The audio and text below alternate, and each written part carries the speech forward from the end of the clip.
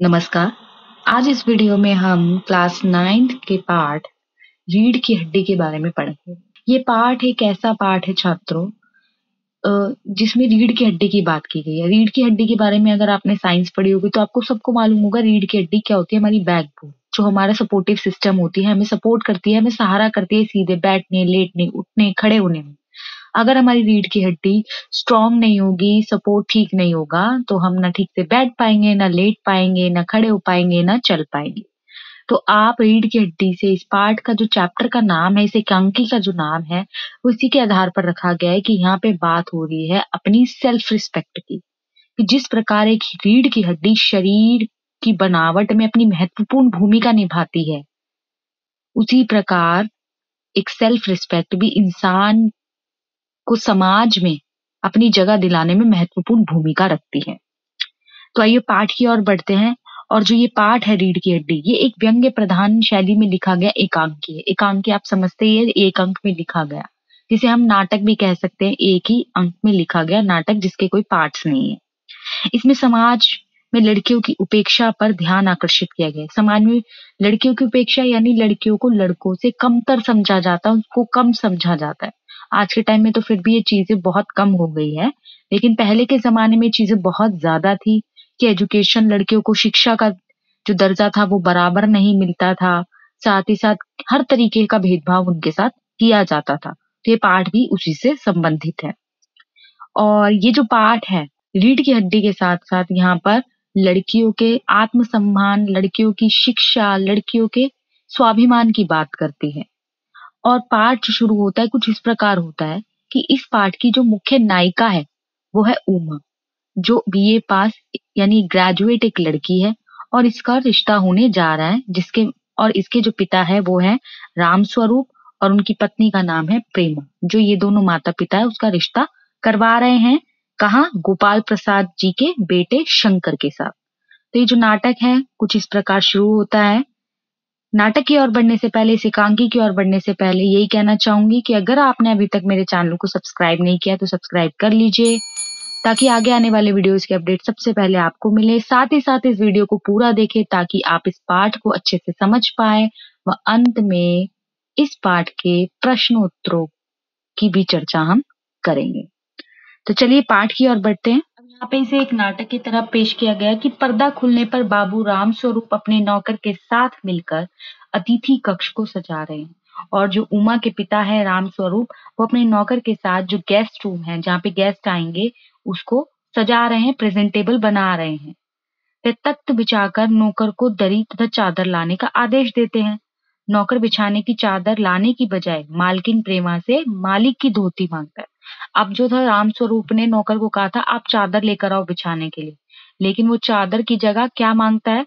अपने मालिक की धोती। तो इस पर क्या होता है, जो प्रेमा यानी जो मालकिन होती है, वो बिगड़ती हुई यानी गुस्सा करते हुए अपने पति के पास आती है और कहती है, आप धोती का क्या करेंगे? इस पर राम स्वरूप प्रेमा को बताते हैं कि उसने बिछाने वाली चादर मंगाई है। उसने धोती नहीं मंगाई। प्रेमा नौकर को अलमारी से चादर लाने का आदेश दे देती है। ये एक नॉर्मल सी कहानी चल रही है तो आप ध्यान से समझिएगा, सुनिएगा, आप बड़े आसानी से समझ जाएँगे। सिर्फ़ एक अभी कहानी चल रही है, जहाँ पर एक सीन चल रहा है कि जो राम स्वरूप है, वो अपने अतिथि कक्ष को सजा रहे हैं और वो नौकर को क्या क्या चीज़ करने को कह रहे हैं। राम स्वरूप कमरे में हारमोनियम भी रखवाते हैं। हारमोनियम आप सब समझते हैं म्यूजिकल इंस्ट्रूमेंट है, वो भी वहाँ पर रखवा लेते हैं। तभी उनकी जो पत्नी है, प्रेमा, वो उन्हें बताती है कि बेटी उमा जो रूठी हुई है। अभी तक इस पाठ में ये नहीं बताया गया है कि उमा क्यों रूठी हुई है। वो तो हम पाठ को पूरा पढ़ेंगे तभी समझ पाएँगे कि उमा क्यों गुस्सा है। लेकिन हम अंदाज़ा लगा सकते हैं कि क्यों रूठी हुई है। शुरू में मैंने आपको बता ही दिया है कि जो उमा का है रिश्ता आ रहा है, शायद वो इस रिश्ते से नाखुश होगी, इसलिए वो रूठी हुई होगी। वह ना तो पाउडर लगाने को तैयार है, ना शादी के लिए उत्साहित है और ना ही वो एक्साइटेड है अपनी शादी के रिश्ते के लिए। राम स्वरूप पत्नी को कहते हैं कि बेटी को संभालने व समझाने की ज़िम्मेदारी तुम्हारी है। पत्नी अपना पल्ला झाड़ते हुए ये काम पति पर डालती है कि उसे इतना पढ़ाना लिखाना नहीं चाहिए था। यानी इस बात का मतलब यहाँ पे ये है कि उसकी पत्नी या राम स्वरूप की पत्नी जो प्रेमा है, वो अपने पति से ये कहना चाह रही है कि उसको उसकी पढ़ाई लिखाई ने बिगाड़ा है। अगर हम उसे कम पढ़ाते लिखाते तो वो आज हमारे कंट्रोल में होती। ये पहले के दौर में या आज के दौर में भी कई जगहों पे ऐसा माना जाता है कि लड़की अगर ज़्यादा पढ़ी लिखी होती है तो वो काबू मतलब कंट्रोल से बाहर हो जाती है।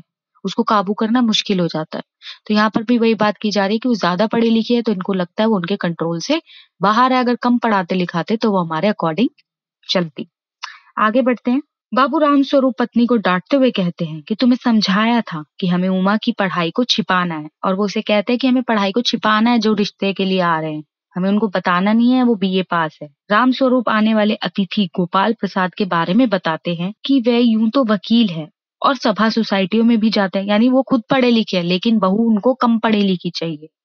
परंतु बहु अधिक पढ़ी लिखी नहीं चाहते। क्यों नहीं चाहते? क्योंकि लोगों की मैंने आपको बताया धारणा मेंटालिटी ये है कि ज़्यादा पढ़ी लिखी बहू आएगी तो वो आपके कंट्रोल से बाहर होगी, आपकी बातें नहीं मानेगी, अपना दिमाग चलाएगी, अपने अकॉर्डिंग चीज़ों को करेगी। तो इसलिए वो खुद पढ़े लिखे होने के बावजूद भी अपने बेटे के लिए कम पढ़ी लिखी।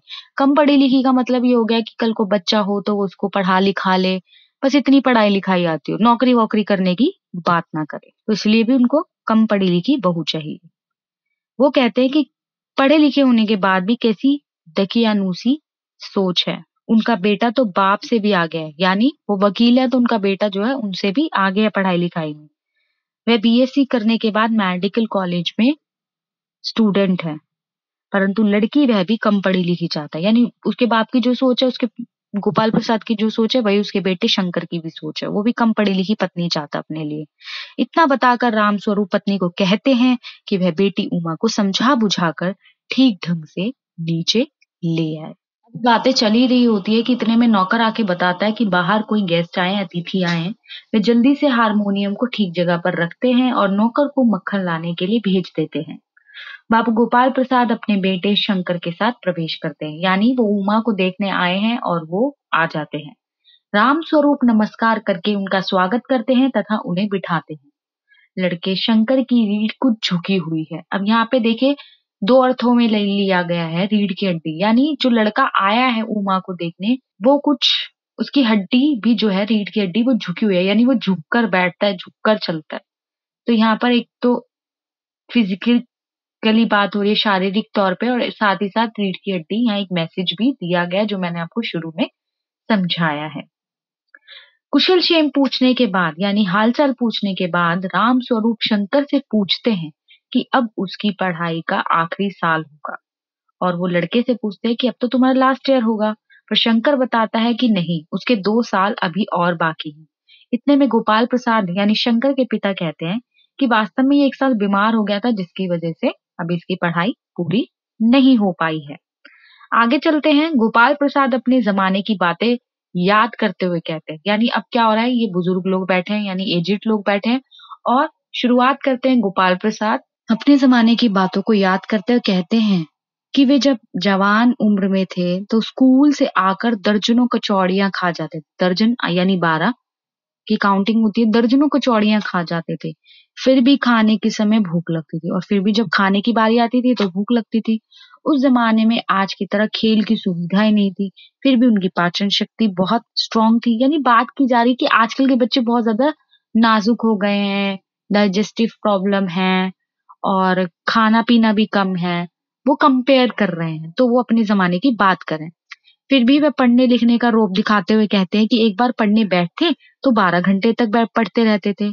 उनके जमाने का मैट्रिक पास भी आज के एमए से अच्छी अंग्रेज़ी सिखाता था। यानी उस जमाने में जो हम टेंथ कर रहे थे और आज के टाइम में जो बच्चे एमए कर रहे हैं, वो कंपेयर कर रहे हैं कि उस जमाने की टेंथ आज के बच्चे जो एमए कर रहे हैं, वो उसके बराबर है। रामस्वरूप गोपाल प्रसाद की बातों का समर्थन करता है तो शंकर ही ही करके हंसता है। अचानक गोपाल प्रसाद राम स्वरूप से कहता है कि अब सीधे बिज़नेस की बात करते हैं। और राम स्वरूप ये बिज़नेस शब्द सुनकर घबरा जाता। अब यहाँ पे ध्यान दीजिए कि वो एक लड़की देखने आए हैं।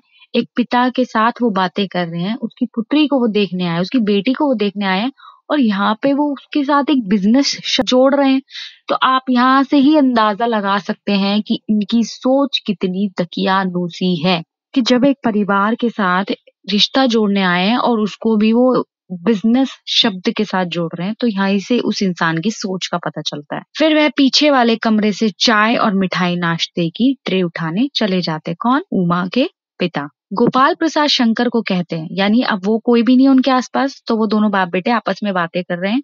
और जो शंकर के पिता है, वो अपने बेटे शंकर से कह रहे हैं कि मकान वकान देखकर हैसियत तो ठीक लगती है। देखते हैं लड़की कैसी है।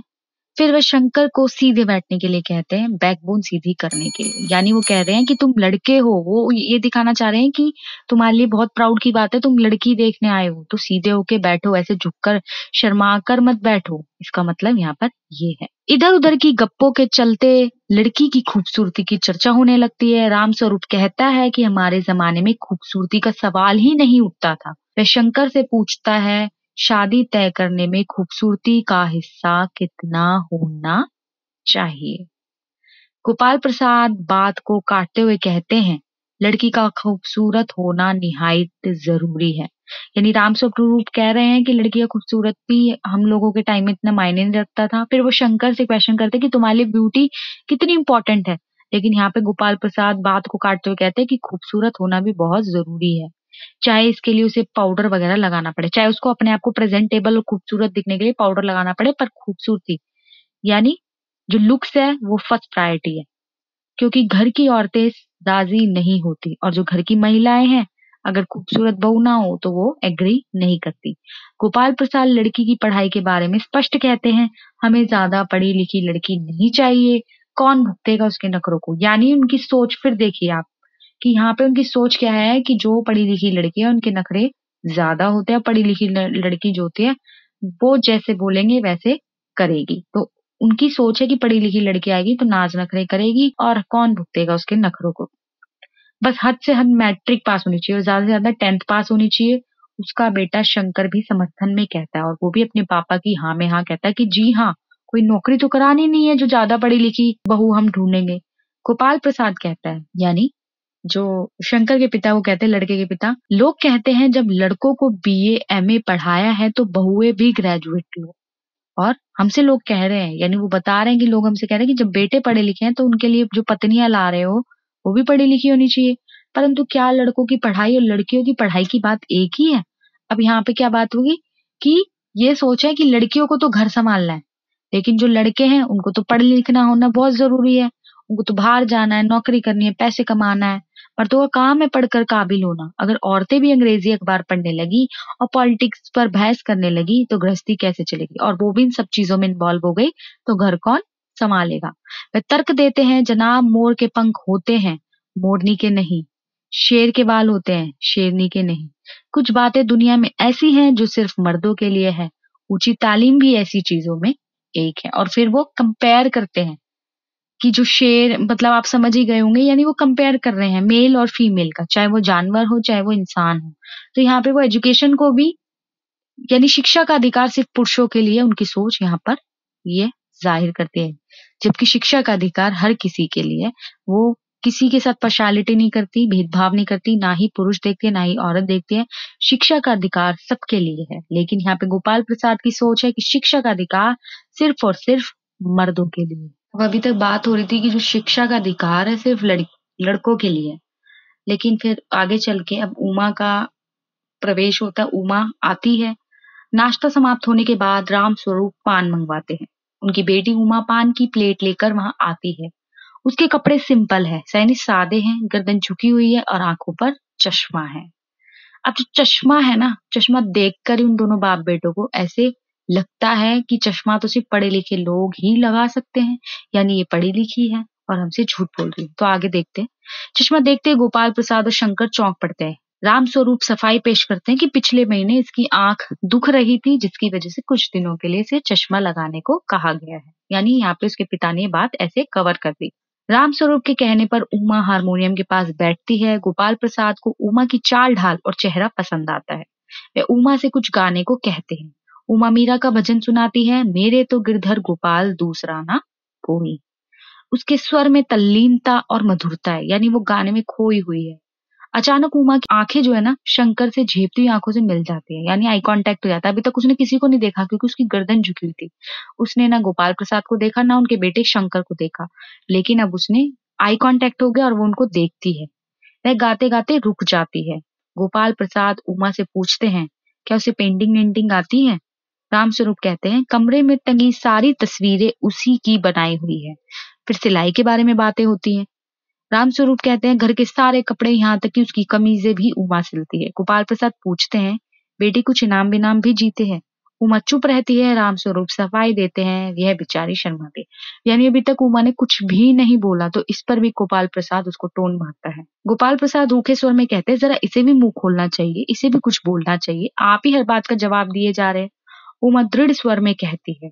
फिर उमा को गुस्सा आ जाता है सारी बातें सुनने के बाद। क्या जवाब दू बाबूजी? जब कुर्सी मेज बिकती हैं तो दुकानदार कुर्सी मेज से कुछ नहीं पूछता। सिर्फ़ खरीदार को दिखा देता है। पसंद आई तो ठीक है, वरना ये महाशय जो मेरे खरीदार बनकर आए हैं, यानी यहाँ पे जो बिज़नेस ये करने आए हैं, इनसे जरा पूछिए कि क्या लड़कियों के दिल नहीं होते? क्या उनको चोट नहीं लगती? क्या बेबस भेड़ बकरियाँ हैं जिन्हें कसाई अच्छी तरह देखभाल करके और अपने साथ ले जाएगा? यानी वो उसके साथ ऐसा ही बिहेव कर रहे हैं। क्वेश्चन किए जा रहे हैं, क्या आता है, क्या नहीं आता, चल के दिखाओ, बैठ के दिखाओ, गाना गा के दिखाओ, यानी हर चीज़ की जा रही है। तो वो कंपेयर कर रही है अपने आप को। अब गोपाल प्रसाद ने उमा की सारी बातें सुनी और उसको गुस्सा आ जाता है और वो उसको इसे अपना अपमान समझते हैं। उमा कहती है और आप जितनी देर से मेरा नाप तोल कर रहे हैं, जरा अपने इस साहबजादे से पूछिए कि अभी पिछली फरवरी में ये लड़कियों के हॉस्टल के इर्द गिर्द घूम रहे थे और वहाँ से कैसे भगाए गए थे? यानी उमा शंकर को पहले से जानती है। अब ऑब्वियस है, उसने शंकर की पोल पट्टी खोली तो साथ के साथ उसकी भी खुल गई कि कॉलेज तो यहाँ पर गोपाल प्रसाद उसकी इस बात को पकड़ लेता है। तो क्या तुम पढ़ी लिखी हो? उमा कहती है हाँ मैं बीए पास किया है, कोई चोरी नहीं की है। ना ही आपके पुत्र की तरह ताक झाँक करती फिरती हूँ और कायरता दिखाती हूँ। मुझे अपनी इज़्ज़त और मान का ख्याल है और मुझे अपनी रिस्पेक्ट का ध्यान है। आपके बेटे की तरह नहीं कि लड़कियों के हॉस्टल के आसपास ताक झाँक करते और वहाँ से भगा दी जाती हूँ, जिसको अपनी इज़्ज़त का कोई ख्याल ही नहीं। और आप मेरी पूछताछ कर रहे हैं। मेरी पूछताछ करने से पहले, यानी इन बातों का ये भी मतलब है कि आप अपने बेटे के बारे में जानिए कि आपका बेटा क्या है।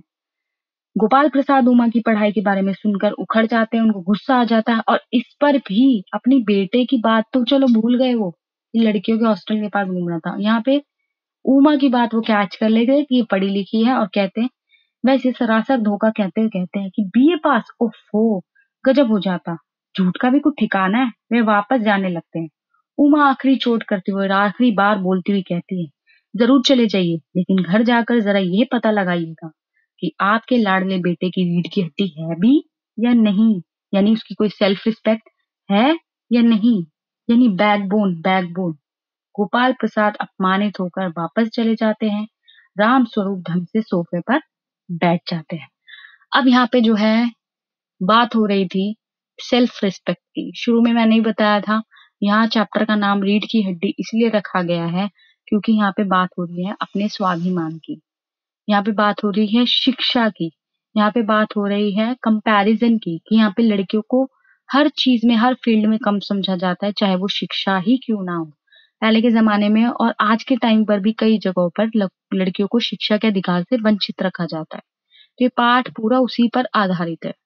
तो ये जो पाठ है, ये कृतिका का है और इस कृतिका के पाठ में से आपको मूल्य परक प्रश्न अधिक पूछे जाएँगे। यानी वैल्यू बेस्ड क्वेश्चन जिसमें शिक्षा को ऐड कर लिया गया है।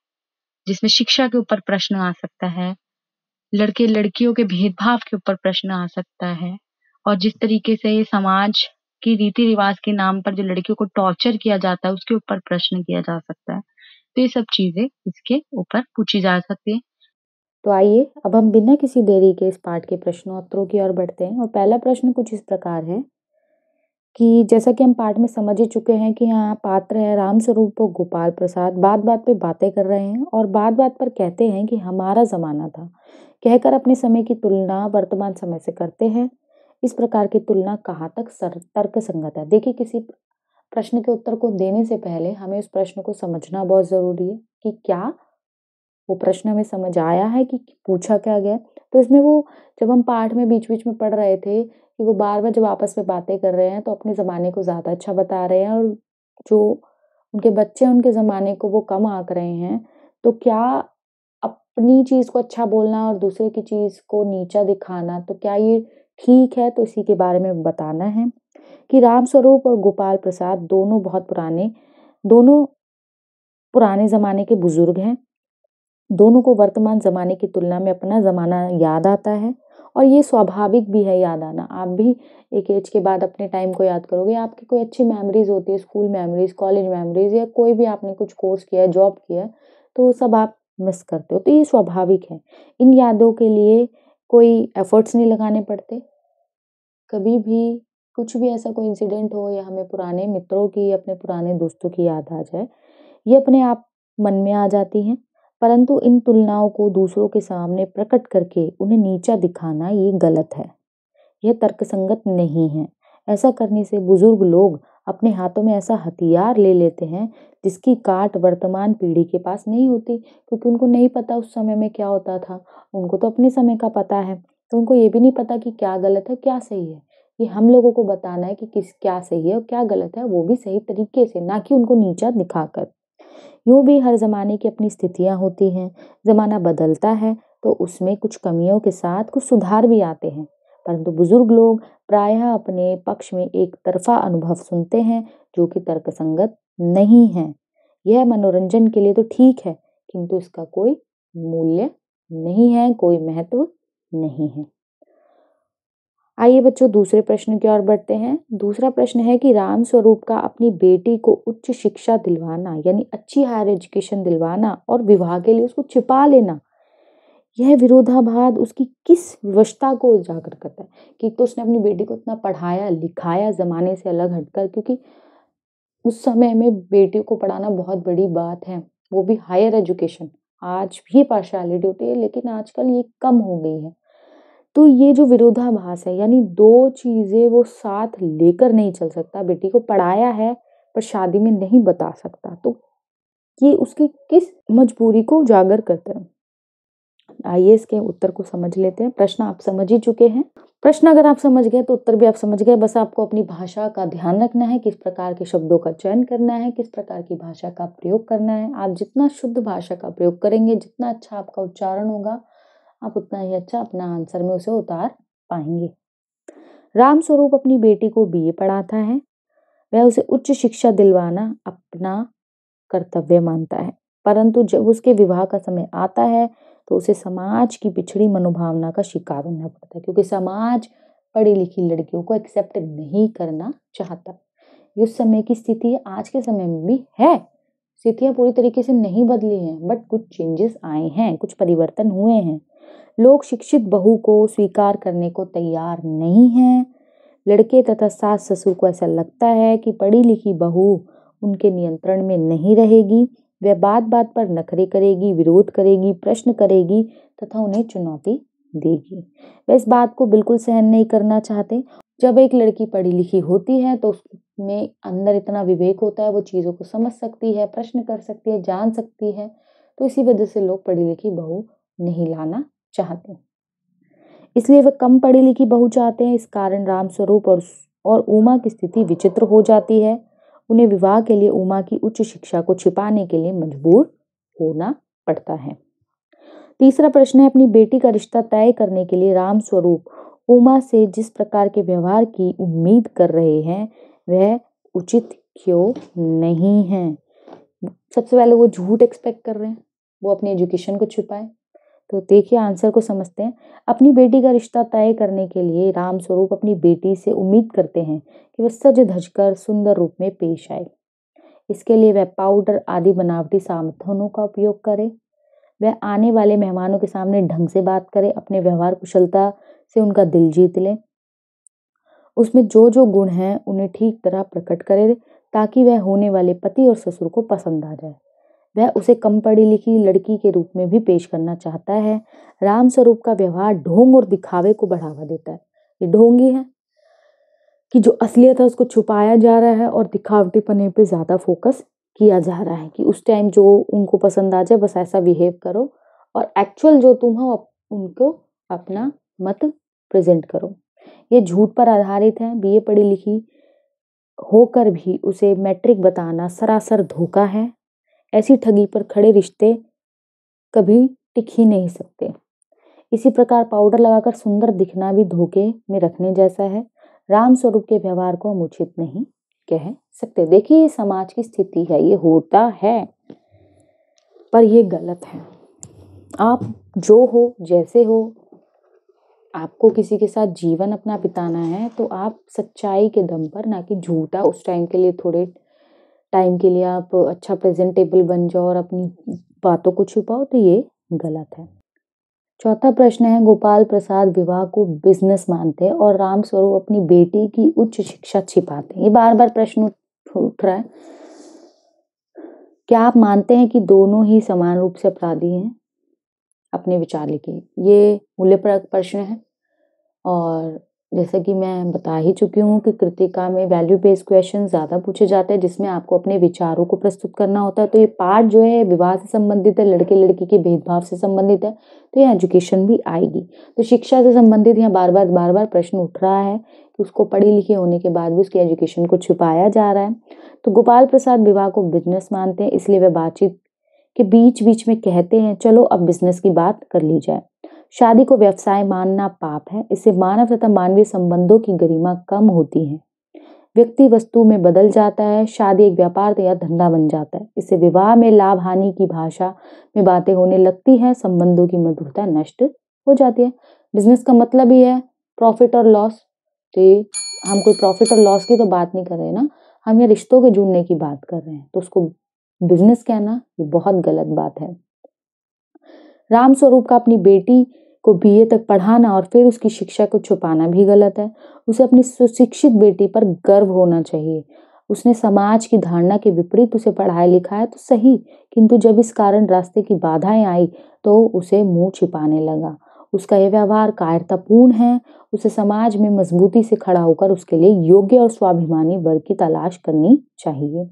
जहाँ तक दोनों के समान रूप से अपराधी होने की बात है, गोपाल प्रसाद अधिक बड़ा अपराधी है। गेंद उसके पाले में है। राम स्वरूप तो उस जैसे लोगों की प्रतिक्रिया पर जीवित है। राम स्वरूप की मजबूरी भी, फिर भी कम बुरी है। उसका वश चलता तो गोपाल प्रसाद जैसे ढोंगियों की बखिया उधेड़ कर रख देता। परंतु उससे उनकी कन्या की ज़िंदगी खराब हो सकती है। क्योंकि ऐसा माना जाता है कि समाज में पढ़ी लिखी लड़की को वर मिलना बहुत मुश्किल है। जैसे कि हम पहले आंसर में डिस्कस कर चुके हैं। पांचवा प्रश्न है, आपके लाडले बेटे की रीढ़ की हड्डी भी है या नहीं? उमा इस कथन के माध्यम से शंकर की किन कमियों की ओर संकेत करना चाहती है? तो इस कथन के माध्यम से वो उमा ध्यान दिलाना चाहती है कि शंकर बिना रीढ़ की हड्डी के जैसा कि हम पाठ के शुरू में समझ ही चुके हैं, रीढ़ की हड्डी यानी बैकबोन जो हमें सपोर्ट देती है। अर्थात जिसका कोई व्यक्तित्व नहीं है, व्यक्तित्वहीन है, उसका कोई निजी मत, स्थान या महत्व नहीं है। वह अपने पिता के इशारों पर ही ही करने वाला बेचारा जीव है, उसे जैसा कहा जाता है, वैसा ही वह करता है। वह पिता को उचित, अनुचित सभी बातों पर हाँ हाँ करता चलता है। ऐसा पति पति होने योग्य नहीं है। शंकर लड़कियों के पीछे लग लग कर अपनी रीढ़ की हड्डी तुड़वा बैठा है। उसका सरेआम अपमान हो चुका है। अतः वह अपमानित लंपट और दुष्चरित्र है। उसका शरीर कमज़ोर है, उसे सीधा तन कर बैठा भी नहीं जाता, इसलिए भी विवाह के योग्य नहीं है। ये हम सारी बातें प्रश्न पहले डिस्कस कर चुके हैं कि उसका व्यक्तित्व कैसा है, जिसकी वजह से यहाँ उसे ऐसा कहा जा रहा है। छठा प्रश्न है, शंकर जैसे लड़के या उमा जैसी लड़की, समाज को कैसे व्यक्तित्व की ज़रूरत है? तर्क सहित उत्तर दीजिए। समाज को शंकर जैसे लड़कों की बिल्कुल भी ज़रूरत नहीं है। ये हम पाठ के माध्यम से समझ ही चुके हैं। जिस समाज में शंकर जैसे लंपट, शक्तिहीन, व्यक्तित्वहीन लोग होते हैं, वह समाज कभी करवट नहीं ले सकता। ऐसा दूल्हा अपना परिवार भी ढंग से नहीं चला पाता। वह पति होने के योग्य नहीं होता। ऐसा व्यक्ति विवाह कर भी ले तो उसके घर में सदा कलेश रहता है। समाज को उमा जैसी लड़कियों की ज़रूरत है। ऐसी बहादुर, निडर, स्वाभिमानी, मुखर, विद्रोही लड़कियाँ ही गोपाल प्रसाद जैसे बड़बोले दिशा भ्रष्ट और अहंकारी लोगों को सबक सिखा सकती हैं। उमा सत्य और गुणवत्ता पर खड़ी है वह प्रकाश है तो गोपाल प्रसाद अंधेरा। जब समाज में उमा जैसी लड़कियाँ और बढ़ेंगी तो गुणवत्ता को अपने आप सम्मान मिलेगा। हम लोग सुशिक्षित बहु पसंद करेंगे। पाठ की जो नाम है उसकी सार्थकता स्पष्ट करनी है अगले प्रश्न में, रीढ़ की हड्डी। तो एकांकी का शीर्षक सार्थक, सफल और व्यंग्यात्मक है। इस नाटक की मूल समस्या है वर का व्यक्तित्वहीन होना। यही शंकर समझदार और व्यक्तित्व संपन्न युवक होता तो गोपाल प्रसाद की इतनी हिम्मत ना होती कि वह दो सुशिक्षित वयस्कों के बीच में बैठकर अपनी फूहड़ बातें करे और शिक्षा को प्रोत्साहन दे। कम पढ़ी लिखी बहू चाहना गोपाल प्रसाद की ज़रूरत हो सकती है, शंकर की नहीं। अगर शंकर अपने पिता के रोब दाब के आगे चू भी नहीं कर सकता, बल्कि उन्हीं की हाँ में हाँ मिलाता है तो वो उसकी कारता है। उस कारता को दिखाने के लिए उसे रीढ़ की हड्डी के बिना दिखाया गया है। इस प्रकार रीढ़ की हड्डी व्यंग्यात्मक, संकेतपूर्ण, सार्थक और सफल शीर्षक है। जैसा कि हम पाठ में समझ ही चुके हैं। आठवां प्रश्न है कथा वस्तु के आधार पर आप किसे एकांकी का मुख्य पात्र मानते हैं? क्यों? कथा वस्तु यानी स्टोरी के आधार पर तो स्टोरी में जो उमा है, वो ही मुख्य पात्र है। वैसे तो पात्र सारे ही हैं। लेकिन मुख्य पात्र उमा है, क्योंकि कहानी पूरी उसी के ऊपर है और उसको स्टेबल दिखाया है स्ट्रॉन्ग दिखाया है साहसी दिखाया है बहादुर दिखाया है। तो ये सारी चीज़ें उसके अंदर दिखाई, वो निडर है, ठीक है? और तो इस वजह से उमा ही हुई, एकांकी की नायिका है। यद्यपि एकांकी में पूरा समय छाए रहने वाले पात्र राम स्वरूप गोपाल प्रसाद, परंतु वे एकांकी के प्रमुख पात्र नहीं है। एकांकी की पृष्ठभूमि बनाने वाले पात्र हैं। एकांकी का नायक वही होता है जो सारी कथा के मूल में हो। जो फल का भोगता हो, जो अपनी गति को एकांकी को मोड़ देता हो, प्रभावित करता हो। एकांकी के आधार पर राम स्वरूप और गोपाल प्रसाद की चारित्रिक विशेषताएँ लिखनी है। जो राम स्वरूप है, वो प्रगतिशील है, ठीक है? यानी प्रगतिशील विचारों का है। वह चाहता है कि लड़कियों को शिक्षा मिले और वो अपनी बेटी को पढ़ाता भी है, बी तक पढ़ाता है और उसका जो व्यक्तित्व उज्जवल बनवाता है। परंतु वो विवश भी है। शादी के टाइम पर उसको उमा की जो एजुकेशन है उसको छुपाना पड़ता है क्योंकि जो लड़के वाले वो चाहते हैं कि उनको कम पढ़ी लिखी बहू मिले। वहीं जो गोपाल प्रसाद है वो बड़बोला है वो बहुत ज़्यादा बोलता है। पाठ के माध्यम से समझ ही चुके होंगे कितनी ज़्यादा वो बातें करता है अपने आप को कितना ज़्यादा शो ऑफ़ करता है। वो चलाक है वो हंसोड़ है वो आ, मतलब इधर उधर की चुटीली बातें करके सबका मन लगाए रखता है। और लिंग भेद का शिकार है, यानी लड़का लड़की में वो भेद करता है। दसवां प्रश्न है, इस एकांकी का क्या उद्देश्य लिखिए। ये एक उद्देश्यपूर्ण एकांकी है। इसके माध्यम से स्त्री शिक्षा को समाज में स्थान दिलाना ही इसका मोटिव रहा है। साथ ही साथ यहाँ पे जो लड़के लड़की का भेदभाव किया जाता है, लड़की का इतना ज़्यादा पढ़ा लिखा होने के बावजूद भी उसकी शिक्षा को उसके विवाह के लिए छुपा लेना ये सबसे बड़ी गलत बात है। तो इस प्रकार ये सारी चीज़ें इसके अंदर आ जाएँगी। और समाज में महिलाओं को उचित गरिमा दिलाने हेतु आप कौन कौन से प्रयास कर सकते हैं? वैल्यू बेस्ड क्वेश्चन है। आप इसमें अपने विचार लिख सकते हैं कि आप लड़कियों की शिक्षा के लिए आप उनको, उनके लाभ बताएँगे, शिक्षित बहू को स्वीकार करेंगे और यानी शिक्षा पर ज़्यादा महत्व देंगे। तो ये सारा इसके अंदर आएगा। तो इस प्रकार इस पाठ के प्रश्न उत्तर भी यहाँ समाप्त होते हैं। आशा करती हूँ प्रश्न भी और प्रश्नों के उत्तर भी आपको आसानी से समझ आ गए होंगे। वीडियो को लाइक ज़रूर करें, कमेंट करें, साथ ही साथ अपने दोस्तों के साथ शेयर करना ना भूलें। और अगर आपने अभी तक मेरे चैनल को सब्सक्राइब नहीं किया है तो कर लीजिए, ताकि आगे आने वाले वीडियोस के अपडेट सबसे पहले आपको मिले। धन्यवाद।